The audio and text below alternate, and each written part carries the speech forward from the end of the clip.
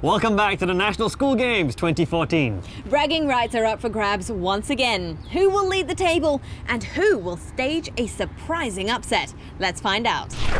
Over at the Bedok Sports Hall, defending champions Northland Secondary School and Merah Secondary School will be expecting tough opposition at the National Interschool Floorball Championships 2014.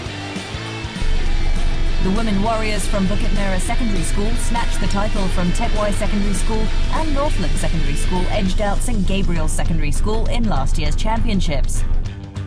This year, BMSS will meet St Margaret's Secondary School in the B Division Girls Finals and NSS will battle it out with the boys team of BMSS.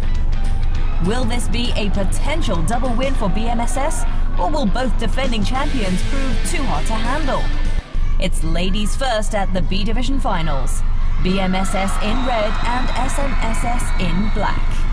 In the first period, BMSS nets a total of four goals while SMSS faces a dry spell.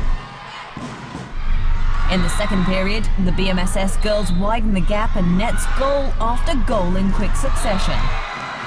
SMSS tries to claw their way back, but a brilliant play by the defending champions seals the fate of the finals. Over at the boys event, it's face-off time between BMSS in red and NSS in purple. The first goal of the match is only in the ninth minute when NSS finds their ball behind the net. Minutes later, they slide past BMSS defence to allow yet another. Taking advantage of the defence gap, the Northland secondary boys find an unguarded bit of goalpost and raise the bar even higher. A spark of action on the part of BMSS and they're rewarded with a long overdue goal. Inspired, BMSS quickly follows with a brilliant long shot. But their efforts are lackluster and NSS gains control of the ball once more and scores. But BMSS is not done. They drive home another point to level up their score. However, it's too little, too late, as the defending champions secure their title once again. Firstly, thank you very much for the uh, well wishes. Right, uh, honestly, I'm very ecstatic. In fact, to precise, uh, over the moon. Uh, we really wanted to win this title, especially more so that the girls lost out the C Division title very narrowly and due to nerves. So I was afraid that the same thing might happen again.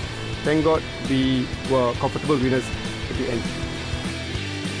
Northland Secondary School reigns as kings once again as Bukit Merah Secondary and St Gabriel's Secondary fills the second and third spot.